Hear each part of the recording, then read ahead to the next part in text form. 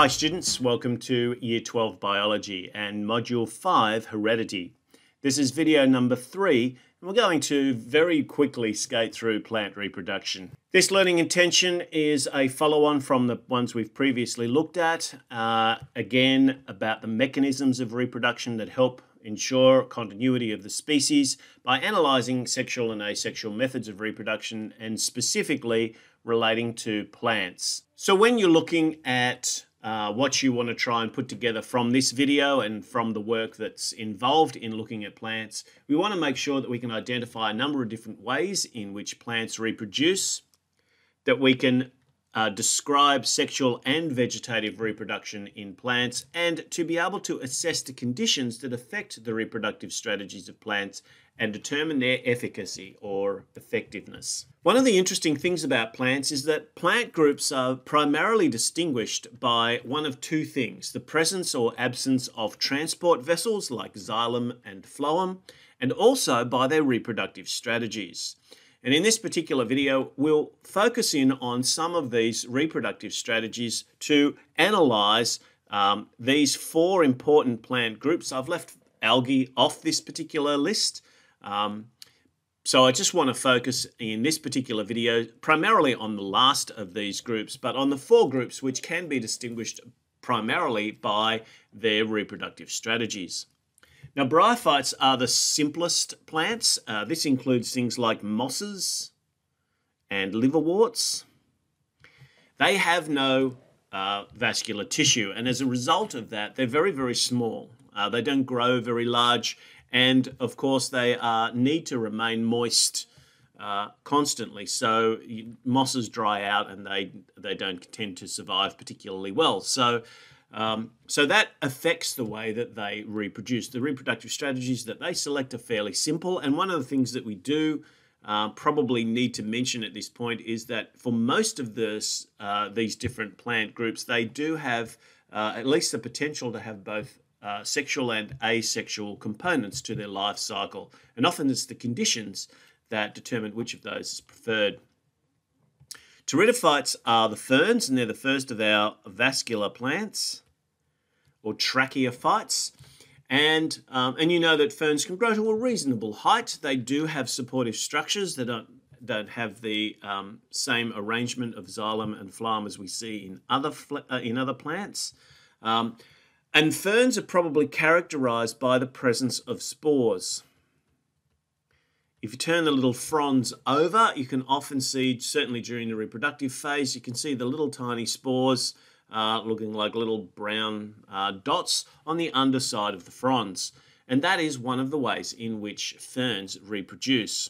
In fact, we'll have a look at those uh, when we go for a little wander around the school campus to see if we can find some ferns and hopefully to see if we can find some that have uh, spores present. The uh, next group of plants are the conifers. Uh, think pine trees, and these reproduce with cones. And there's a little example uh, on the uh, uh, an image on the slide that we have here. So gymnosperms reproduce by cones. So that's a, a third, if you like, type of reproductive strategy. And the final one, and the one that we're probably most familiar with, are the flowering plants, which are the gymnos, uh, which are the angiosperms, and they reproduce uh, through flowers. Now, again, they don't exclusively reproduce by flowers. Flowers are their sexual organs of reproduction, but we will also look at a number of uh, asexual means of reproduction that we see in um, many different plant groups, including the flowering plants or angiosperms. So there's uh, quite a range of different strategies that plants uh, do use for reproduction. You can see here are the spores that I was talking about earlier on the underside of the fronds uh, of ferns, so fern fronds one nice easy way to do it. And if you can see these little um, spores sitting underneath the fronds, uh, then you can usually use just a little piece of sticky tape to um, attach them to a slide and to have a look at their structure. Grasses uh, will often use the asexual means of runners to extend um, the plants and extend them along the ground or just under the surface of the soil. Uh, and that's a way that, that new uh, leaves can spring up. And it's a, it's a, and don't forget the thing with asexual reproduction strategies is that usually we're, we're about rapid growth.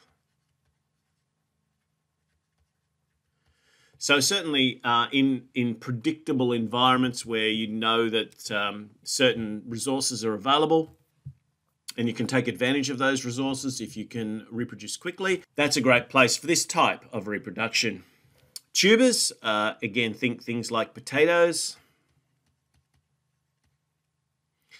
Uh, corms and rhizomes are other structures. Uh, lignotubers is something that we also see uh, under the ground near the uh, roots of plants that can um, spring up and regrow, particularly if things like fires come through. Each of these are structures or strategies that the plant can use for rapid repopulation or uh, growth expansion through asexual means. So no coming together of of gametes here, but just structures that are within the plants that can then lead to the growth of a new individual. But asexual strategies are not the only strategies that plants use. The other thing that plants use are sexual strategies. And one of the probably most impressive of the sexual strategies that plants use are flowers. And we will certainly have a look at some examples of flowers to see if we can see things like the um, female part of the pistil, which will include, uh, also called a carpel, uh, which will include the stigma and style. And you can see one kind of down the bottom here. Um, probably need to just give you a different color to look at that right there. Um, but also the um, male parts of the flower as well. So plants are plant flowers tend to be hermaphroditic. They have both male and female parts. They're not always present um, and mature at the same time in order to try and prevent self-fertilization. You also um, see that the there's a difference in the position of the uh, male parts. The anthers are the uh, little ends here, and they sit on filaments, and together they form a stamen, which is the male part uh, of the plant, and the pistil is the female part of the plant. Now, the problems for sexual reproduction is what we've talked about before, which is you've got to get the male gamete to the female gamete.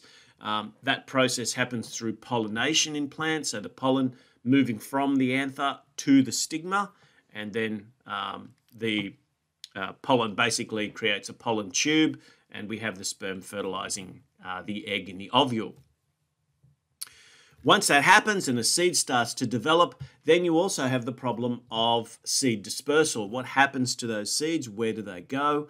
Um, how are they moved from one place to another? It's not going to be good for the plant if all of the seeds drop into the same soil that they're already using for nutrients. They'll be competing with their own offspring. So the idea is to get the seeds to move a little further away. And again, um, wind and animals can be used in order to help those seeds disperse. And also, it's the strategy about fruits, which we find for angiosperms, or cones, which we find for gymnosperms.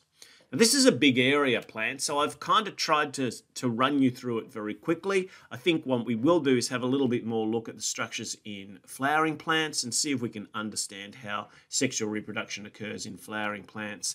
But I thought it would be useful to give you just a quick introduction to those other groups of plants as well, and the fact that each of them is often characterized by differences in their way of uh, reproduction. Thanks for watching.